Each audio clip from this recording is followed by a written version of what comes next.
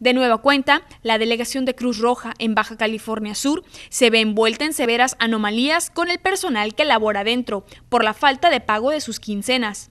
En esta ocasión, el médico que labora en la institución manifiesta que lleva varias semanas que no le pagan la compensación por realizar certificados médicos, curaciones y citas de emergencia. Reyes Castro Aguilar, médico afectado, comenta para nuestras cámaras que al solicitar un arreglo con el subdelegado de Cruz Roja, Luis Felipe Cota Castañeda, este se molestó por el cobro que le hizo y lo despidió de la institución. Cota Castañeda manifestaba que él era la autoridad en el lugar, dejando al médico fuera de sus funciones. Ellos, dos quincenas por porcentaje de ellos tampoco me les han pagado. Eh, no para una sola quincena. Ahorita hablo con el señor Luis Cota y me dice eh, que no hay dinero Digo, vamos haciendo un plan por escrito que se va a pagar poco a poco y se altera, se molesta, me ataca y me corre de mí. Porque me fue, que era la autoridad aquí, que la Cruz es privada y que él mandaba aquí. Al solicitar una entrevista con el subdelegado Luis Felipe Cota Castañeda, se negó a aclarar el tema. Se escudó diciendo que de sede nacional no les permiten dar declaraciones de este tipo. Días atrás dijo que la falta de pago al personal se debe a que Cruz Roja no tiene los fondos suficientes para pagar las nóminas que ascienden a 150 mil pesos.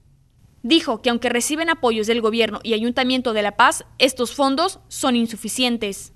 Por desgracia, somos una institución pública, privada, de beneficencia pública y que nos mantenemos únicamente con los donativos.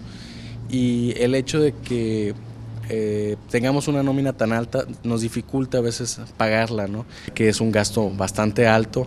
Estamos hablando de que estamos pagando arriba de 150 mil pesos mensuales de nómina.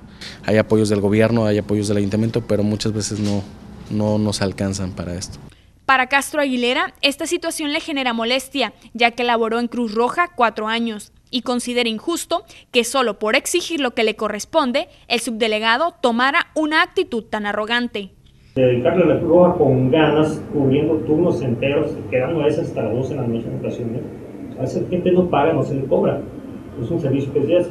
Pero los médicos reciben una compensación, las enfermeras también, que es mínima. Siento muy incómodo en ese sentido, porque yo quise la Cruz Roja demasiado, cumplí, dediqué a ella, no busqué trabajo en otro sitio, por la Cruz Roja. Y ahora no quieren pagar. Actualmente, el médico no es la única persona que se ve afectada con los pagos quincenales. Paramédicos, enfermeras y personal administrativo pasan por la misma situación. En las imágenes, Enrique Viveros, Sara Cuevas, Mega Noticias.